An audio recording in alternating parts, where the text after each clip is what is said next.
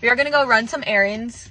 Well, we're gonna go to Trader Joe's, possibly Whole Foods, because it is raining and I just cannot focus in the rain. I have restless leg syndrome, not really, because that's like a nighttime thing, but I think I have it in the daytime. My legs just like itch to move and sometimes they just stand up and start walking me. Truly absurd. But that being said, if I can't get my walk in in the morning, I'm kind of a mess. Do a little haul of what I got when I get home. Um, I am gonna go to Whole Foods though. I still need a little more distraction so I can focus well. Also, I want two things that's only sold at Whole Foods. This is everything I got. Clearly, I haven't really been into cooking, but I love throwing a protein over this gnocchi. Is that how you say it? Um, this is just good to have on hand. I throw like a protein with this as well. I've never cooked steak, but having it shaved like this looks easy. Veggies, fruit, dip, dream pops. That does it. I finally feel like I can focus.